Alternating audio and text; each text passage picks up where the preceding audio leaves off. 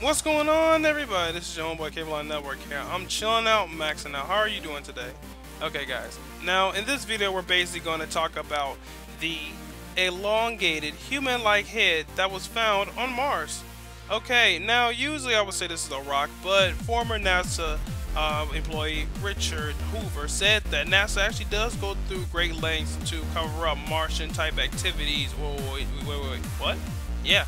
If you okay, that's proof right there. Link in description below for all you said that. Oh, you believe in the aliens is weird.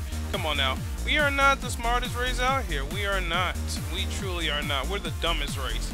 Now, what is my take on this? Well, obviously, my take on this is, um, unless they actually find well, what if that we...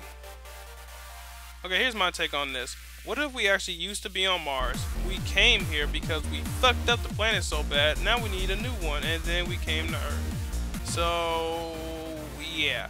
I wonder what planet we'll go to next. Now, they probably kicked us off the moon, which is why we can't go over to the moon and they haven't gone back. But anyway, guys, put in comments, what do you think about this? I'm actually interested in what you have to say. Now, they were talking about having people live on Mars. I am totally down with that, legitimately. I will be the first person to test it. I'm tired of Earth.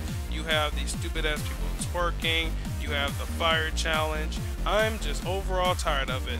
By the way, guys, we're our YouTube MCN. We're looking to partner YouTubers and make it big on YouTube. Link in the description below. Make money becoming a YouTuber. Become a Cable Line partner today.